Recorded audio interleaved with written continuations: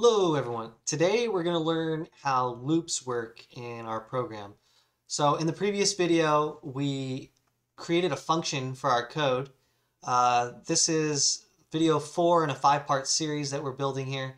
And if you haven't seen the previous ones, I'd recommend taking a look at those. But if you don't have time, uh, let's just take a look at a little bit of what the, what the program's doing. And then we'll show you how a loop becomes really useful here. So first we have a function call. So we're calling our compare guess function here. Uh, we're putting in a value, a value of 5. And the game, we're just playing a little game with the, the user is able to play a game where they guess a number between 1 and 10. If the number is outside that range, uh, it creates an error, or if they put in a value that's not a number, it also create an error and we catch that error. Otherwise, we tell the user if the answer is correct, too high, or too low. Now, we're going to run our program on a loop so that the user can keep guessing until they get the right answer. So it'll simulate something that's a little bit closer to a game where the user guesses between 1 and 10 until they get the correct answer. So for that, all we need to do is create this while statement. It's going to be a little while loop here.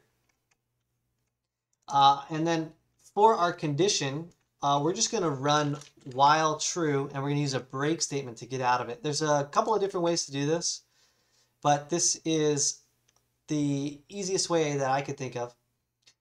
Uh, and then all we need to do here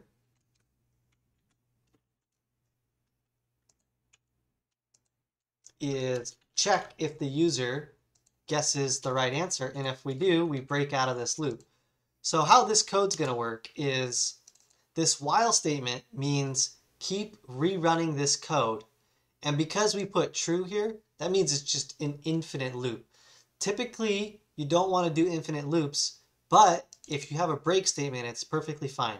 And so what this does is it checks if any of our information, if the compare guess value returns a false value. And uh, in these in these instances here, we're going to return true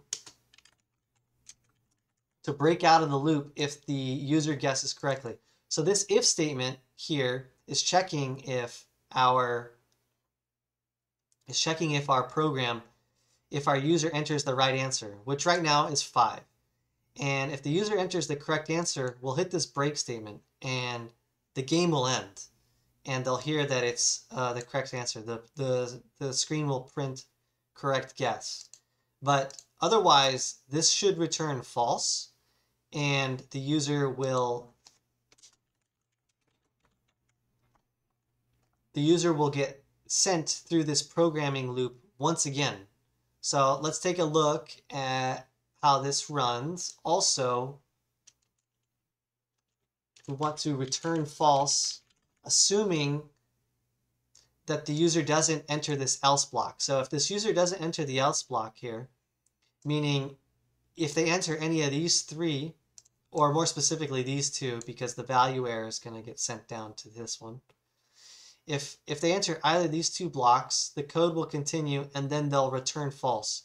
So our function is returning false for our if statement here. So this allows us to keep repeating the game over and over again until the user guesses the correct answer. So let's run our code here.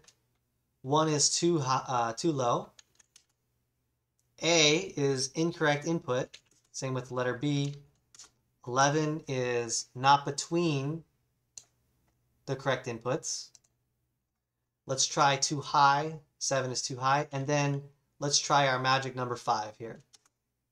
5 is a correct guess, and then our program finished. So that's a quick and easy way to implement a while loop that'll just keep running until we tell it to break out of that loop. Very powerful combination, the while loop and then checking for a Boolean value to break out of it.